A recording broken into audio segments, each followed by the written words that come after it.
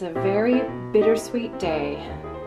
Christmas Day, day 25, final day of our holiday 2023 countdown. Let's see what's inside for today. December 25th. Jacob has given us a gift. Happy day 25, everyone. I know Jacob hopes that you will enjoy this extra chart that you find in your box today. This small trifle, kindly take and keep it for the giver's sake. This is one of those perfect Jacob designs where you can choose any color that your heart fancies, make it one color or five colors, and make it your own. Wouldn't this be amazing done super, super tiny as a pin cushion? Um, you know, oh, it would just be so cute. So cute. So our floss today is the gorgeous rosewood. Look at that. Such a beautiful color. It is close to a floss that we have in the collection called Redwood, but it's a little bit lighter and a little bit brighter than Redwood. Gorgeous.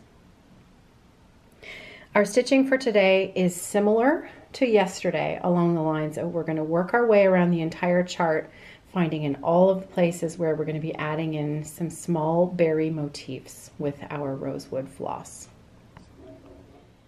You can hear a dog barking outside. That is our neighbor's daughter's dog. We always know when their children have come to visit them because they have a dog that well, barks a lot. so it's nice to know that their family is here visiting them. Um, now, there, as you can tell, today is our last day of stitching. So there is no border on this piece. So what I was thinking for those of you who like to have a border surrounding the chart, if you check out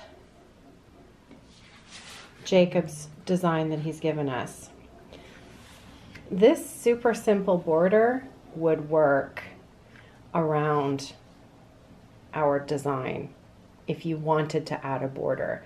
Now you'd have to do some fudging, some finagling with the stitch count because of course this chart does not match the exact stitch count of this, but that's pretty, that's pretty straightforward zigzag pattern. There's no reason why you couldn't just simply chart your corners and, and make it work. Um, the other thing you could do is just do a, a straight line. Baker's block is probably the one I would choose if I were going to do it. But then, I you know, I'm looking at this and this color. I don't know. It's pretty lovely. So if you're thinking you wanted to add a border around the entire thing, well, you've got lots of floss with which to do. All right, let's get stitching. And that is a wrap on our holiday countdown stitching. So let me point you out, point out where our stitching today was. We had two berries down here, and then we had berries in our bower. One, two, three, four, five, matching on the other side. We had two large um, flowers on the very top of the design, and then of course the legs for our birds all done. Happy day 25, Flossmas, Vlogmas, and Merry Christmas. Today is the last day of my Flossmas, Vlogmas, 25 days of videos. Thank you so much for joining along with me this month. I also have my very last 12 days of finishes. I saved my favorite for last. I, well, it's my favorite. I don't know. They're all my favorites. But this one seemed appropriate for Christmas Day. Because it is Christmas Garden by Blackbird Designs. Ta-da! It's so good. It is so, so good. I, when I started stitching this, I could not put it down. I started and finished this piece in six months and for me that is unheard of for a big piece. I stitched it on a 32 count, um, some kind of linen. I'm not sure what it was. And um, Kathy, the owner of my local needlework shop at the time that I kitted this up, Thread and I, um, she helped me choose four colors uh, that were not the called for because she didn't have the called for in stock. So she helped me choose four colors that were very similar, very complementary. So I can't even tell you what floss that I used, but I know it's 32 count, two over two. Um, the last time I showed this last year or the year before, somebody told me I'd forgotten a berry. So down here in the corner, you can see it's missing a berry. See that down there?